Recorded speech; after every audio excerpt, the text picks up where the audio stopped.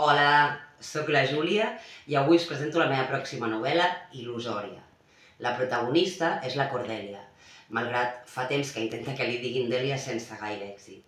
I viu a Ciutat d'Ònix, que és una ciutat meravellosa, regada per canals d'aigua cristal·lina, envoltats de camins desjardinats per on hi passegen els seus vianants vestits amb robes extravagants mentre cullen pomes de xocolata de l'arbre dels postres.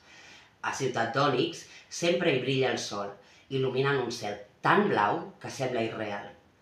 I és que de fet ho és, d'irreal, perquè els habitants de Ciutat d'Ònix estan permanentment connectats a la xarxa d'Onírica mitjançant un implant cerebral. Onírica és una aplicació de realitat augmentada que modifica l'aspecte de la ciutat i dels seus habitants mitjançant filtres de bellesa. Els seus habitants, per tant, poden canviar l'aspecte de la decoració de casa seva, el seu aspecte físic o el color dels seus cabells amb un sol clic. I estan encantats. La Cordèlia se sent una privilegiada per viure en un món tan meravellós.